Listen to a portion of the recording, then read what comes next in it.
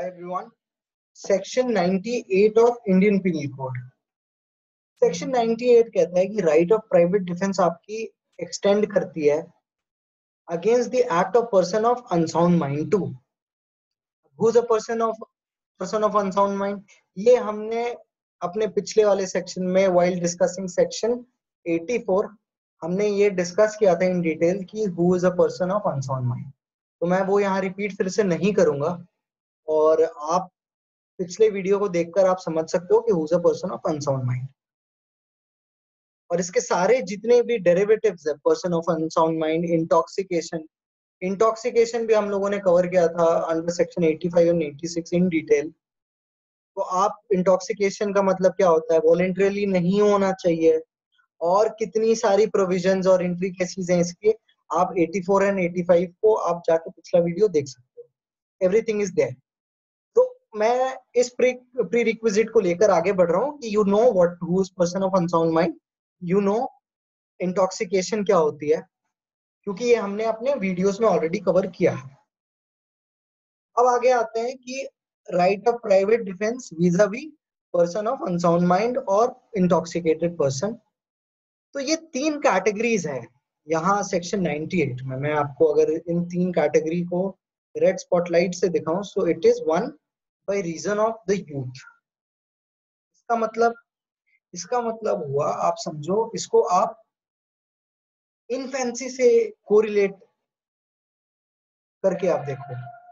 Indian penal code में क्या है कि अगर सात साल के कम उम्र के किसी पर्सन ने कुछ ऑफेंस कमिट किया है तो वो एब्सोल्युटली इम्यून होगा। बारह साल से नीचे बट सात के ऊपर अगर किसी ने आ, कोई ऑफेंस कमिट किया है तो वो उसकी लेवल ऑफ़ मेच्योरिटी को देखेगा और उसके हिसाब से फिर डिसाइड किया जाएगा। Same is applicable here by reason of you जोश में कई बार बच्चे कुछ ऐसा काम कर जाते हैं। तो क्या ये उसको कवर करता है? आंसर है नो आप बाय रीजन ऑफ़ यूथ को ये मत समझो कि ये यूथ होने के कारण जो गर्म दिमाग होता है, खून होता है ड्यूरिंग द टीन एजेस तो वो कवर्ड होगा इसके अंदर। मे बी वो आ सकता है, क्योंकि एक तरीके का इमिनेंट एंगर होता है। तो इस पे कोई रेलिवेंट मुझे केस लॉज मिला नहीं। I try to do my research there but I couldn't find any relevant case laws on it तो अगर आपके पास है any case law which is important there तो प्लीज़ आप कमेंट बॉक्स में शेयर करो सो दैट हम सारे एक साथ पढ़ सकते हैं उसको। ओके अब आते हैं सेक्शन 98 पे। ये कहता है कि आप don't gets the protection of general exception that is unsound mind हो गया या इंटॉक्सिकेशन हो गया। ये दो तो आपको जनरल एक्सेप्शन में कवर हो जाती है अनसाउंडनेस ऑफ़ माइंड या इंटॉक्सिकेशन तो उसमें अगर कोई भी पर्सन है जो इंटॉक्सिकेटेड है या ऑफ़ अनसाउंड माइंड है और वो आपके प्रॉपर्टी या आपके बॉडी को डैमेज पहुँचा रहे हैं हार्म कर रहा है किसी तरीके से तो आप राइट ऑफ़ प्राइवेट डिफेंस आप यूज़ कर सकते हो। Apart from unsoundness of mind और इंटॉक्सिकेशन तीन चीज़ें आती हैं by reason of youth want of maturity of understanding ये एक लीगल प्रिंसिपल आ गया।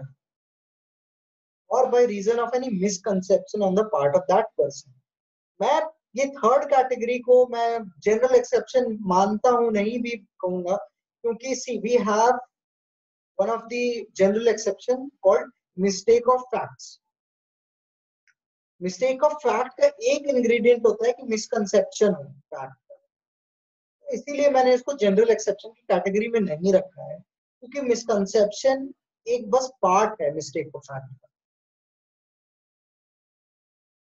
तो इसमें right of exercising private defence is equal जितना आपका एक नॉर्मल पर्सन के लिए रहता है उतना ही इन कैटेगरी ऑफ़ पर्सन के लिए भी रहेगा।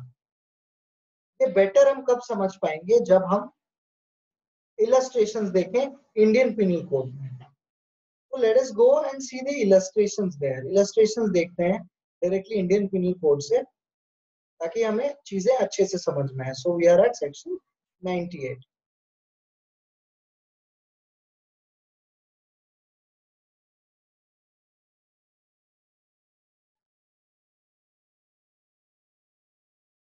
पहला है, पहला illustration that Z under the influence of madness attempt to kill A Z is guilty of no offence okay but A has the same right of private defence which he would have if Z were sane आप समझो Z insanity के कारण madness के कारण ही attempt to kill ए ए को मारने का attempt करता है। Z किसी भी ऑफेंस के लिए लाइबल तो नहीं होगा। क्यों? क्योंकि Z सेक्शन 84 के अंदर कवर्ड होगा। एक्सेप्शन जनरल एक्सेप्शन मिल जाएगी उसको। पर क्या